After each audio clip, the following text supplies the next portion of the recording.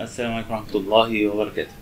دلوقتي إحنا عايزين ننظم الشيتات في فولدرات مثلا folder معماري folder إنشائي وهكذا. على سبيل المثال مثلا؟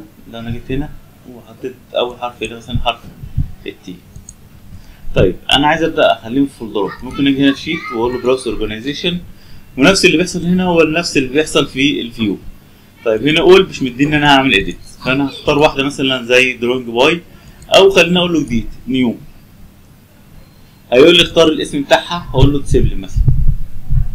وهكذا. طيب هنا بيقول لي filter filter. filter يعني إيه؟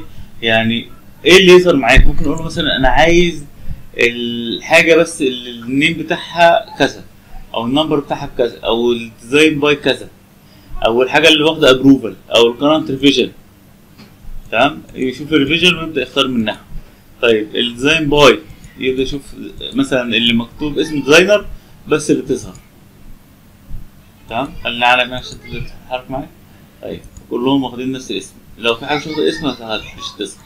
browser organization هقول له edit طيب أنا عايز مثلا أقول له فلتر لأ رتبهم لي بقى. رتبهم لي بإيه مثلا؟ أو اعملهم لي في group مثلا ال sheet name تمام؟ أهو. طيب ال sheet name كل حروف ولا أول حرف؟ ممكن يبدا يشوف أول حرف. حرف ال A مثلا أو حرف ال B أو حرف أي حرف يشوفه تمام؟ تعال نقول له okay ونرجع نشوف إيه اللي حصل. رتبهم لي اول حرف A B S T تمام؟ اول ما تدخل في ال A تلاقي مترتبين بالشكل دوت. ال B بالشكل دوت. طيب لو جيت هنا تاني وقلت له browser organization وقلت له edit وقلت له بدل sheet name sheet number عملهم كله بحرف ال A ما عدا اللي إحنا غيرناها خليناها بحرف ال T طيب لو جيت هنا قلت له browser organization وقلت له edit ممكن تقول له بقى إيه رتبهم نظمهم في group من خلال designed by حسب الاسامي ممكن ال scale تعال نشوف ال scale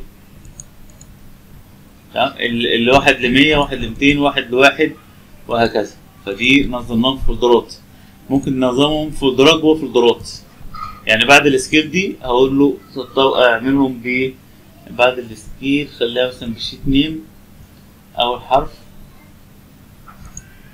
أقول له okay. okay. كل واحدة من دول بيبدأ يقسمهم ده مثلا حرف ال S ده حرف ال A وال B وهكذا. فإحنا قدرنا ننظمهم في folder